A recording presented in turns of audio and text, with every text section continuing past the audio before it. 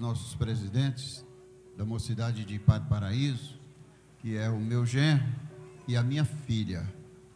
E eles estão ali empenhados nesse trabalho, com muita vontade, e, e nós estamos ali, então, funcionando, é, desempenhando o nosso papel defendendo a obra naquele lugar. E é o que nos está é, deixando né, tranquilos, porque, como alguém disse aqui, não, va, não é a quantidade que resolve o problema, e sim a qualidade. Nós ouvimos aqui uma palavra sobre Gideão, e Gideão, com certeza, ficou com as pernas tremendo quando ele viu tanta gente voltar para trás, né? Ele naturalmente teve vontade de voltar para trás também, né? Mas as igrejas, né?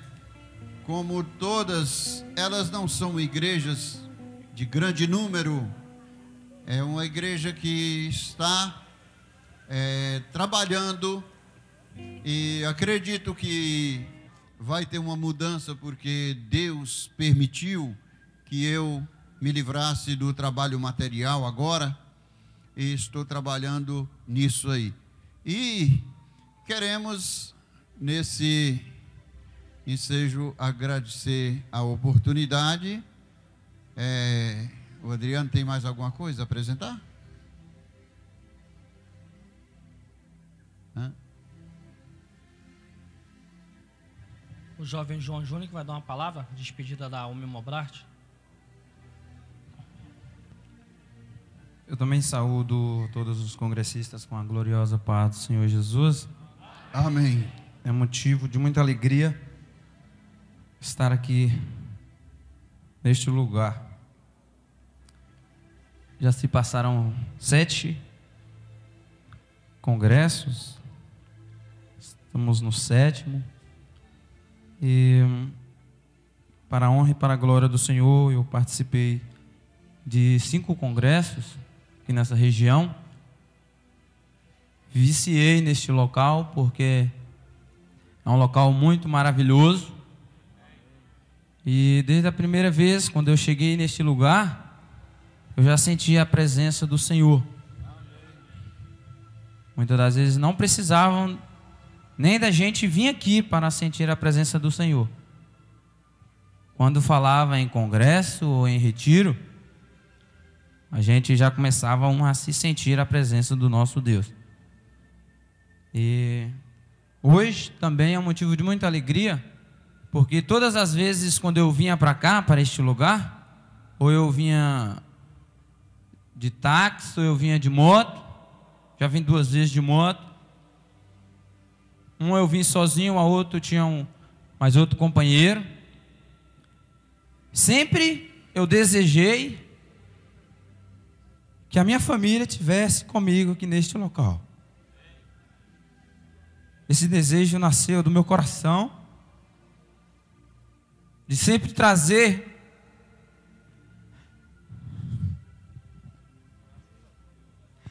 sempre trazer eles para cá. Porque eu sabia que aqui era o lugar de cada um.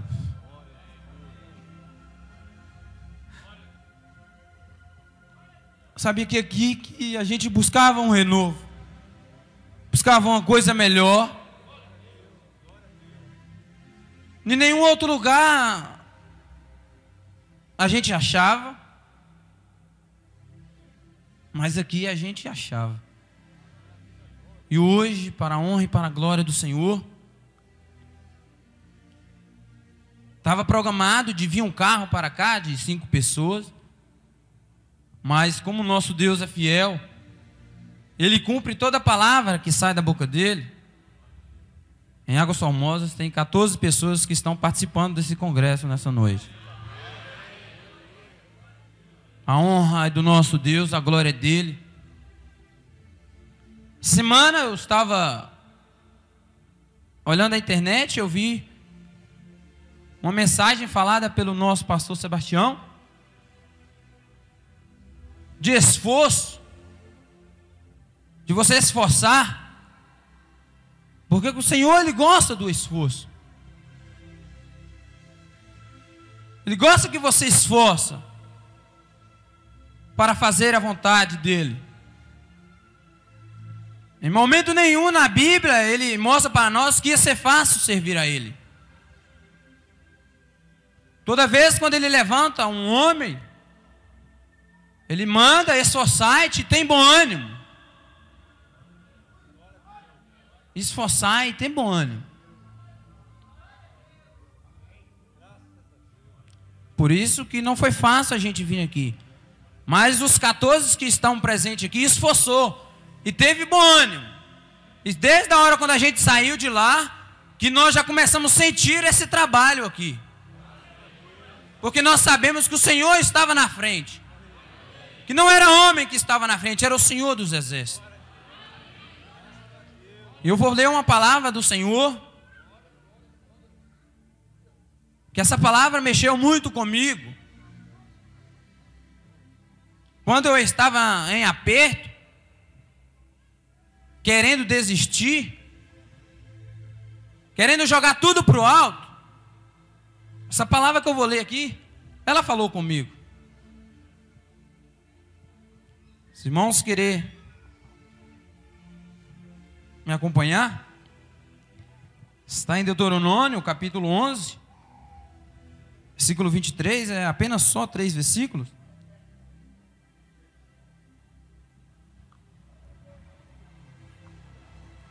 Onze, Deuteronômio, capítulo 11, versículo 26, que se diz assim: Eis que eu ponho hoje diante de vós a bênção e a maldição. A bênção quando ouvires os mandamentos do Senhor, vosso Deus, que hoje vos mando. Porém, a maldição, se não ouvirdes os mandamentos do Senhor, vosso Deus, e vos desviastes do caminho que hoje vos ordeno, para seguires outros deuses que não o conheces. Amém.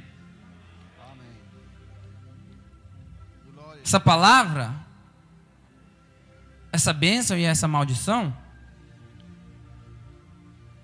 hoje está na vida de cada um.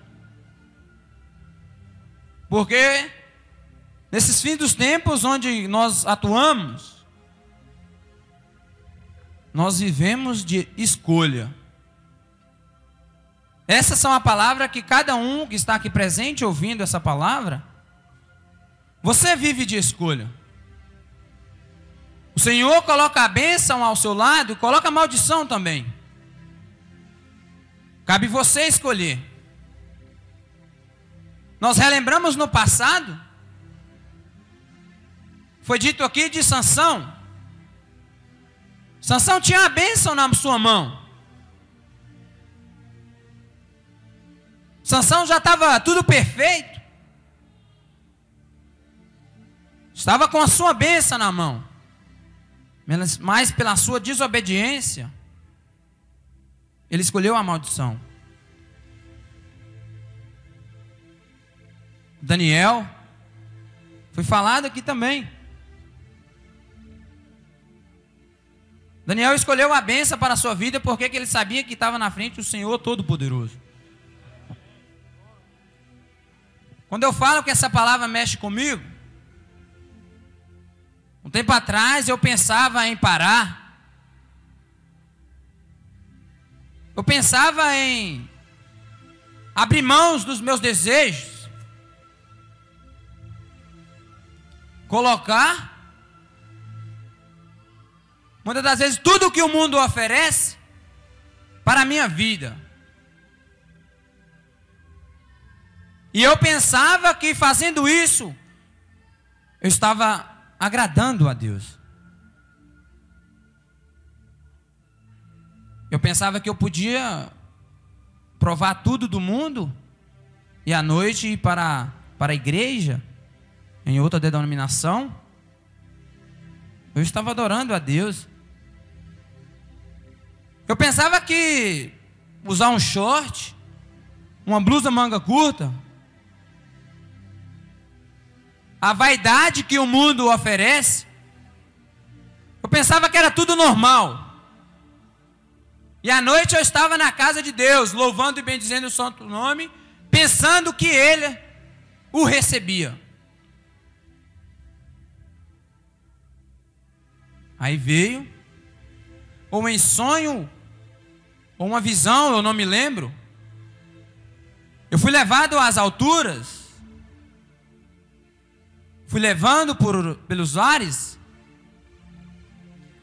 Quando chegou lá em cima, eu me deparei com duas portas, com dois caminhos. De uma porta estreita e de uma porta larga. Eu me humilhei e escolhi ficar.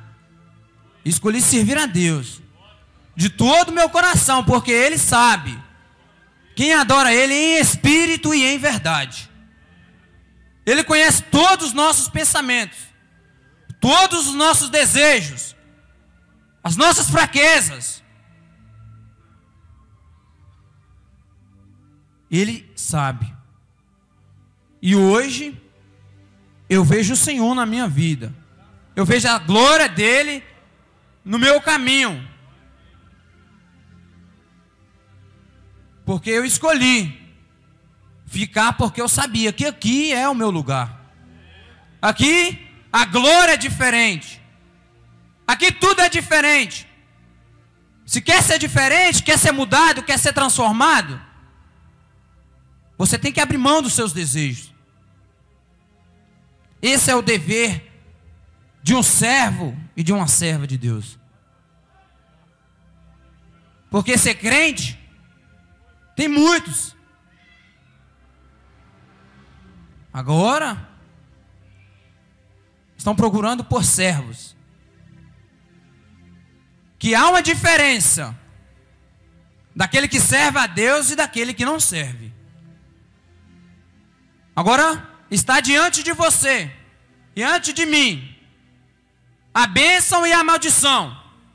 Você escolhe o que, que você quer da sua vida. Você escolhe qual o futuro que você quer para você. Na palavra de Deus nos fala que de tudo que nós ouvimos,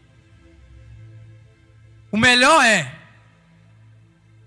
temer a Deus e guardar os seus mandamentos, porque isso é dever de todo o crente, porque o Senhor trará a juízo toda a sua obra, e que seja boa ou que seja mal. Que o Senhor nos abençoe.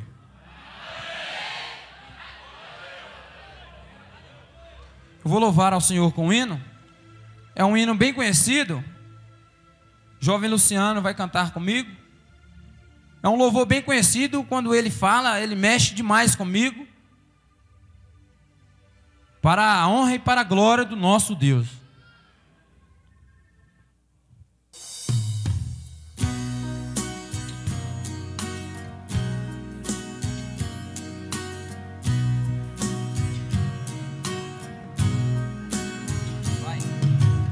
Nada me separa desse amor.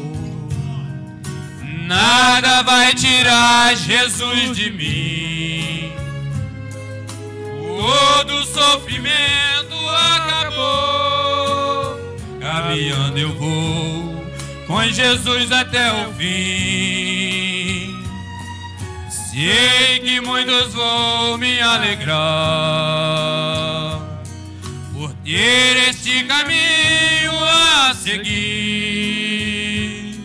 Confesso que eu não vou deixar e que nada vai tirar esse amor que existe em mim. Confesso que eu não vou deixar e que nada vai tirar esse amor que existe em mim.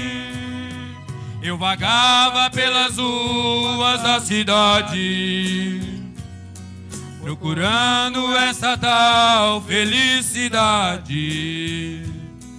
Pelos bares eu vivia, procurando alegria, mas só encontrei maldade. Tudo enquanto ia chegando ao fim. No meu caminho brilhou uma luz. E eu que era ovelha perdida, hoje eu tenho uma nova vida, caminhando com Jesus. E eu que era ovelha perdida, hoje eu tenho uma nova vida, caminhando com Jesus.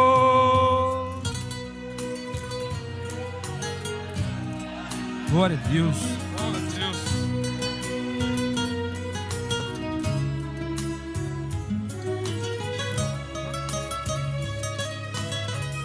Glória a Deus.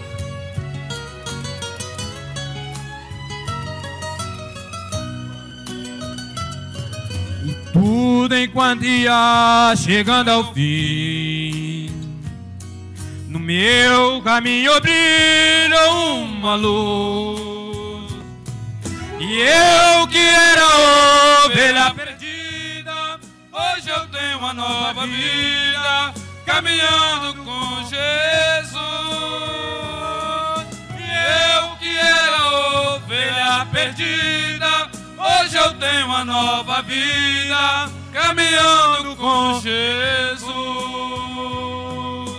Nada me separa desse amor. Nada vai tirar Jesus de mim. Todo sofrimento acabou. Caminhando eu vou com Jesus até o fim. Sei que muitos vão me alegrar por ter este caminho a seguir. Confesso que eu não vou deixar e que nada vai tirar esse amor que existe em mim. Confesso que eu não vou deixar e que nada vai tirar esse amor que existe em mim. Nada me separa desse amor.